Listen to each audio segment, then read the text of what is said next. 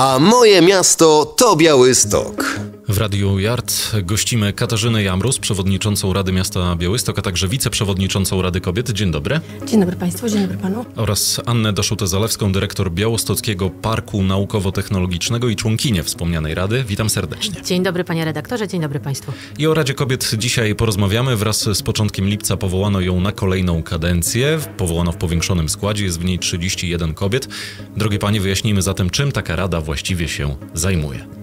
Tak jak Pan to za, słusznie zauważył, została powołana Rada Kobiet. E, wspomnę, że jest to druga kadencja Rady Kobiet, jeżeli chodzi o nasze miasto Białystok. Poprzednia e, nasza kadencja była bardzo krótka, e, ale powiem, że bardzo pracowita. Jeżeli chodzi o, obecno, o obecny skład Rady, weszło tutaj 31 pań. Są to przedstawicielki różnych środowisk, kultury, edukacji, biznesu. W różnym wieku przekrój tutaj jest naprawdę bardzo, bardzo różnorodny. Jeżeli chodzi o nasze zadania, to przede wszystkim e, będzie opiniowanie projektów uchwał obejmujących swoim zakresem potrzeby kobiet, ale też e, chciałobyśmy przedstawiać rozwiązania wspierające kobiety oraz e, chciałobyśmy współpracować w tym zakresie z organizacjami pozarządowymi i instytucjami.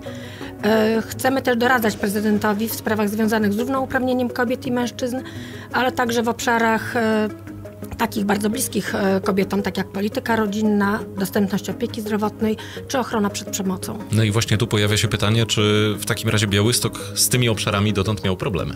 Myślę, że tak jak w każdym mieście, w większym, mniejszym, w każdej gminie istnieją e, różne wyzwania i problemy, e, które nie zostały jeszcze rozwiązane. To nie ma co się oszukiwać, że w naszym mieście jest idealnie. Jest bardzo dobrze w wielu obszarach, ale rzeczywiście wiele obszarów wymaga też dalszego rozwoju i wzmacniania.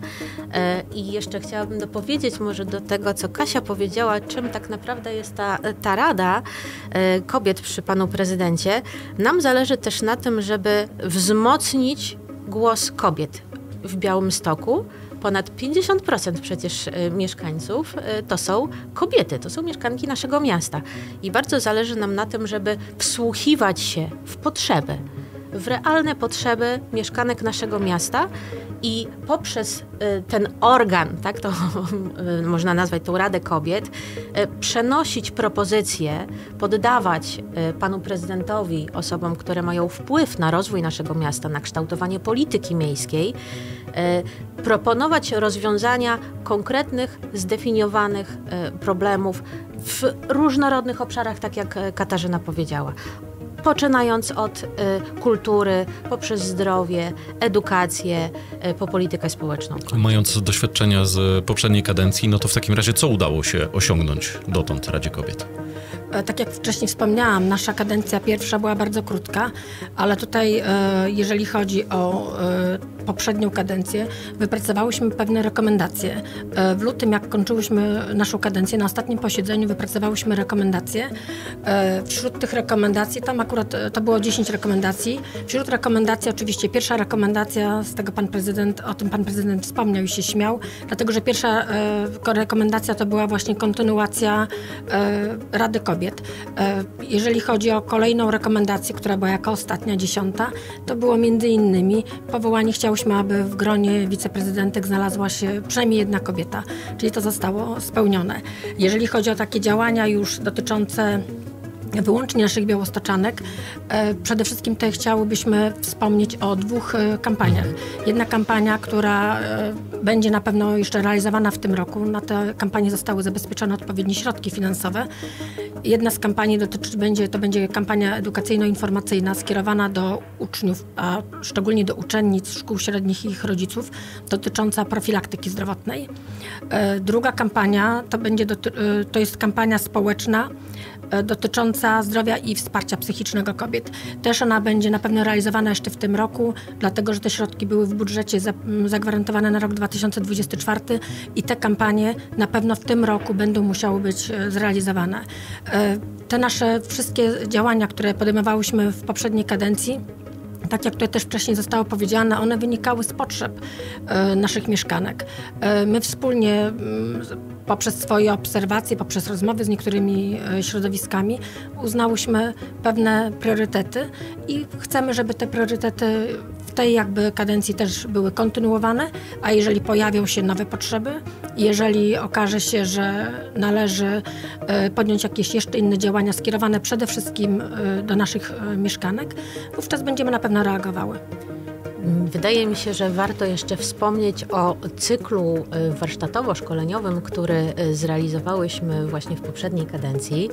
Y, cykl miał nazwę Przedsiębiorcza Białostoczanka.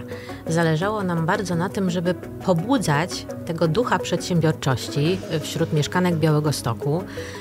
W Białostockim Parku Naukowo-Technologicznym odbyło się sześć modułów szkoleniowych, prowadzonych głównie przez fantastyczne kobiety i co też muszę podkreślić i bardzo im za to dziękuję, nie pobierały za to żadnego wynagrodzenia. Czyli staraliśmy się zachęcać mieszkanki naszego miasta do tego, żeby spróbowały wejść na ścieżkę przedsiębiorczą, zbudować swój biznes poprzez udział w tych naszych, naszych warsztatach, które cieszyły się ogromnym zainteresowaniem, bo łącznie uczestniczyło w nich ponad 350 kobiet. A macie Panie jakiś, jakiś feedback, jeżeli chodzi o to, jak to się skończyło? Czy faktycznie udało się komuś te firmy pozakładać? To jest za mało czasu i to rzeczywiście jest taka malutka dźwigienka, także nie mamy takiej konkretnej informacji, to bym musiała skłamać. Tak, tak, mamy odzewy. Jeszcze nie, jeszcze jest za wcześnie, bo to się odbyło w y, minionym półroczu. E, Także, także za wcześnie, ale będziemy się starały ten cykl kontynuować ze względu na to, że są takie głosy i takie prośby. Dajcie nam takich szkoleń więcej. No właśnie. I czym e, jesteście już e, Panie po powołaniu? W takim razie czym na początek, na sam początek będziecie się zajmowały tej kolejnej kadencji?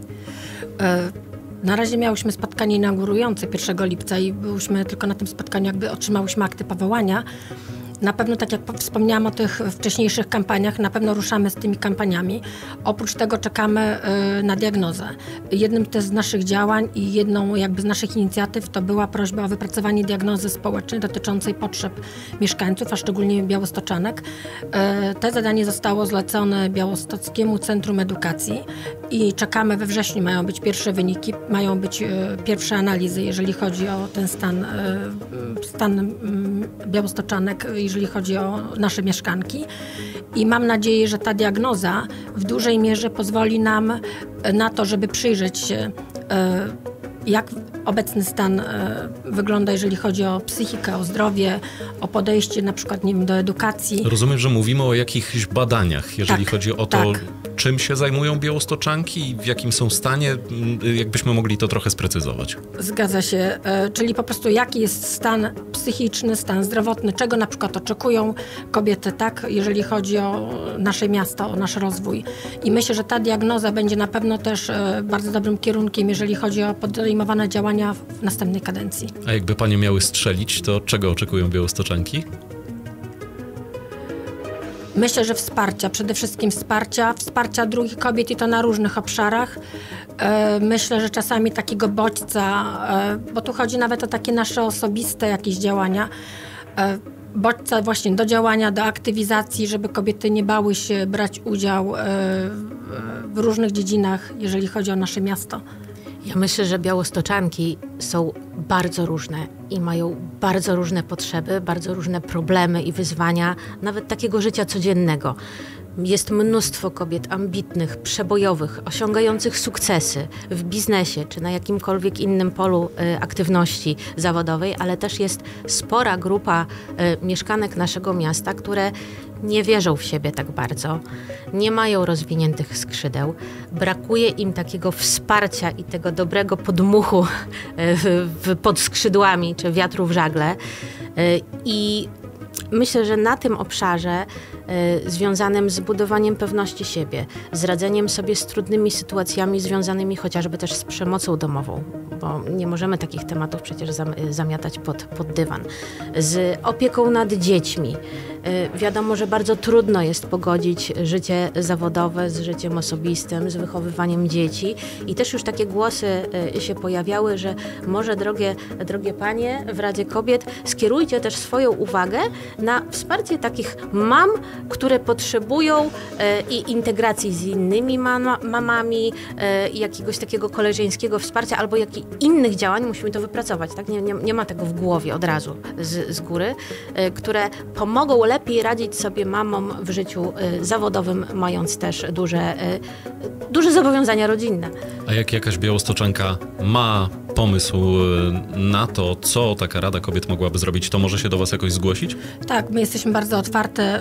Y, Tutaj, tak jak wcześniej powiedziałam, tutaj są kobiety z różnych środowisk, więc nawet nie bezpośrednio, czy do przewodniczącej, czy do y, wiceprzewodniczących, ja myślę, że każda z nas y, ma grono swoich znajomych i każda z nas rozmawia na pewno na tematy dotyczące kobiet i śmiało tutaj mamy propozycję, żeby właśnie te osoby do nas, już mamy sygnały, tak, że niektóre osoby mają pewne pomysły, czy mają pewne potrzeby i chciałyby, żebyśmy po prostu wsparły ich w tym działaniu. Ale zapraszamy też bardzo serdecznie do polubienia, do obserwowania y, fanpage'a Białostockiej Rady Kobiet. Białostocka Rada Kobiet na Facebooku.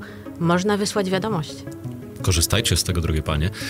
E, Zachęcamy do tego gorąco. No i co? Pozostaje mi życzyć tego, żeby ta kadencja kolejna Rady Kobiet była udana. Katarzyna Jamros i Anna Doszuta-Zalewska, reprezentantki Rady Kobiet, były naszymi, żeby pozostać w klimacie, gościniami.